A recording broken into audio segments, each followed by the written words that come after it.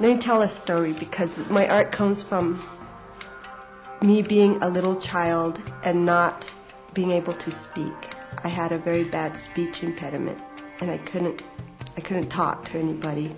The the sounds wouldn't come out right. My need for communication was intense.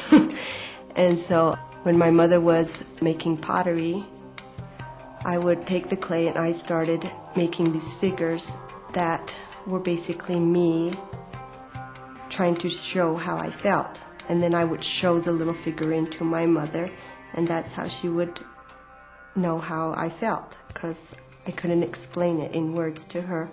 So I found out really early I could communicate things through sculpting. So it wasn't like I'm making art, I'm going to make a drawing, it was pure communication. I loved my clay that I buy from a box, and it saves me a lot of time processing it. I think it's important to experience digging clay and mixing your own clay, and I grew up doing that because my mother used to dig her own clay.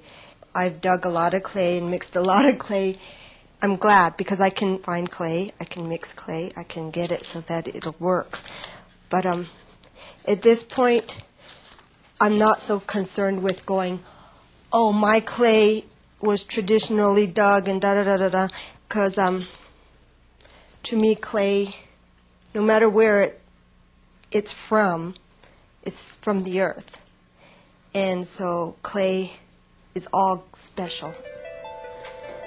I like to make a mask alongside a figure because while I'm waiting for the figure to harden enough to continue working on it, I can work on a mask at the same time. What I'll do is form out the main shape of the mask and then uh, let it start to dry. And as it starts to dry, it'll become easier to work with. Just knowing how to work with the clay as it's drying is the trick to making anything out of clay, I think. When I was